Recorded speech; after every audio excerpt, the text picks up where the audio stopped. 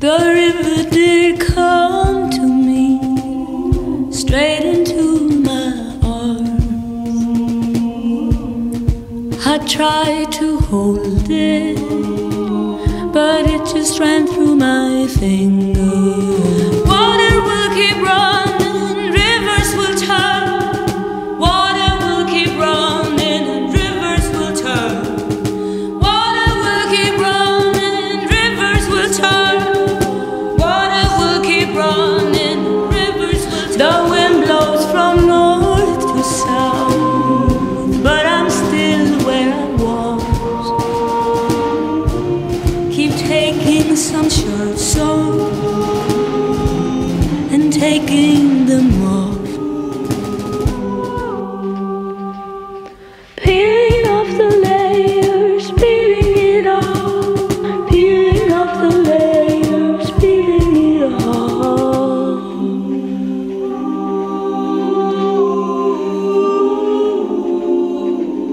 I wish I could find.